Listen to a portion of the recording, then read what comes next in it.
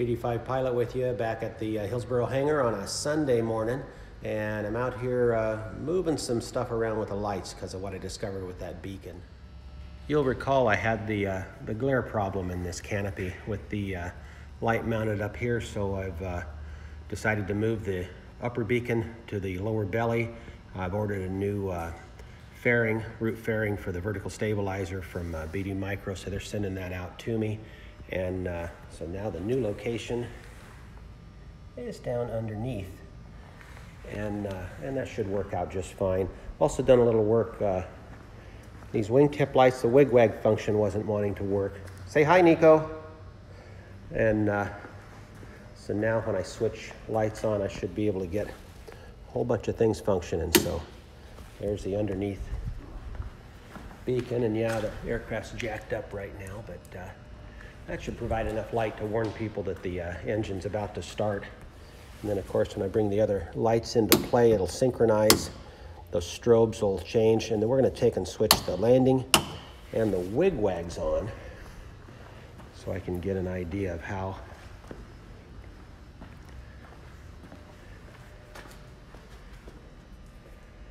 And of course you can't see the wigwags working, but uh, you can see this side blinking, underneath the belly blinking.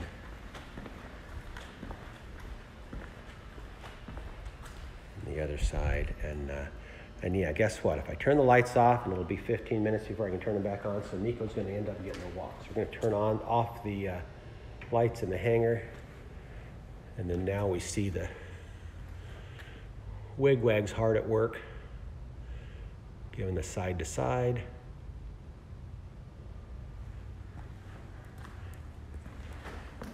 And this should be a workable solution for the aircraft. So uh, that finishes my testing of these lighting situation.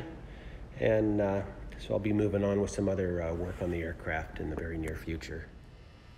And so now the final touch is trimming the little plastic cover to uh, fit over the wingtip and, uh, and then drilling the holes out. I got to drill them a little bit larger and uh, mount the screws and this wingtip will be done. And now I've got the other side done. So both sides now have the uh, little plastic covers for the uh, wingtips. So that work's basically done. when I pull those wingtips back off, I can continue the construction and, and putting the screws in that hold that in place permanently. And of course, I figured you got to be asking, what does that look like? What difference does that make with those uh, covers on? You might get a little different dispersal. I've got it set on wigwag right now, but uh, here we're going to go ahead and turn the hanger lights off inside. And then I'm going to take and reset it just to a landing light type position. So uh, we'll turn off the wigwags and leave it just with full landing lights on.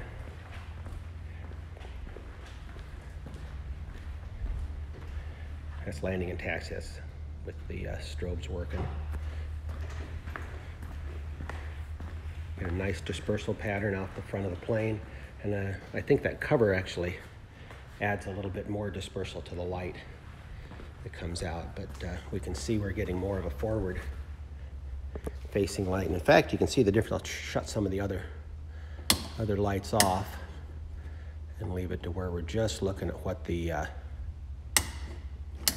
so there's just the uh, nav lights on. And when I go to taxi light, you can see that wide dispersal pattern that comes on. And then if I go to the landing, you see how we get a, a spot facing forward?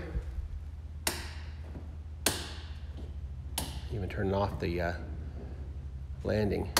So the dispersal pattern's enough different and we get a forward facing beam.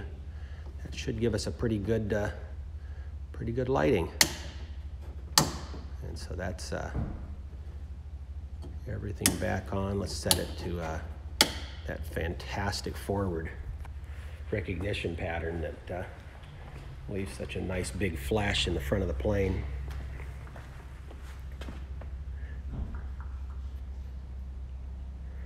That's pretty good. Nico doesn't know what to think of it though.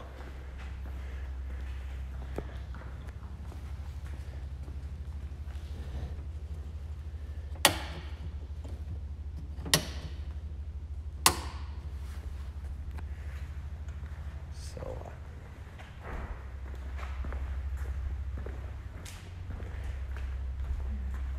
and just pure nav lights, and those are actually quite bright themselves.